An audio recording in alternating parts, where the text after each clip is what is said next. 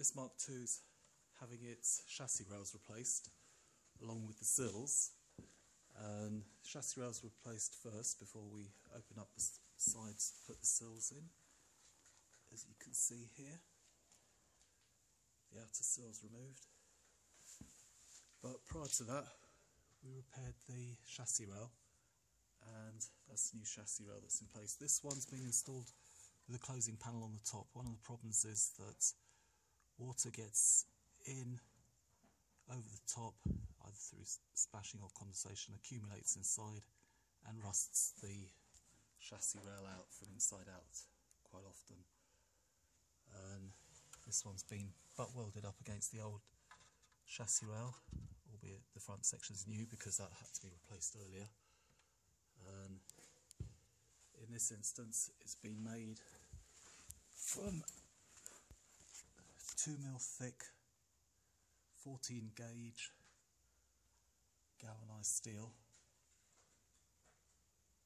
And that runs the length of the car. So we've retained the original rear end of the chassis rail. And that butts up to the front end. One of the problems is that Martin Robey's don't make these chassis rails, they leave it up to the restorer to make.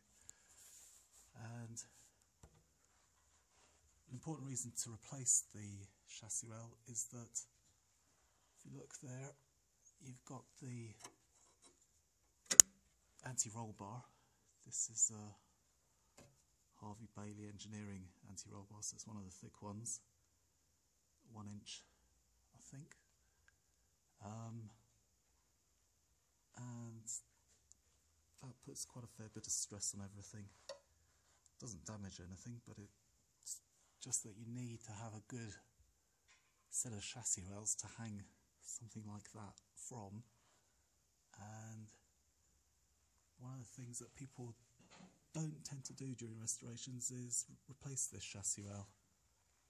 Um, if you've got handling problems, like under heavy braking, it could be that your car is twisting excessively because this thing's rusted out. In addition, if you've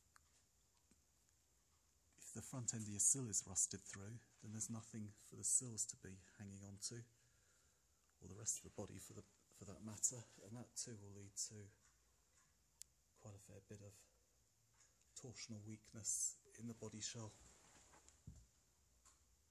So this one's been restored previously.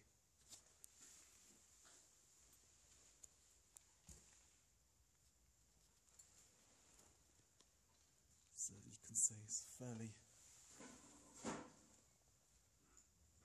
substantial repair that's gone in there. So I've had to remove the old chassis rail by drilling it out from above and then plug welding it all the way along the floor pan from front to rear. And that'll be done on both sides along with the sills. Um, the new floor pan put in as well on top.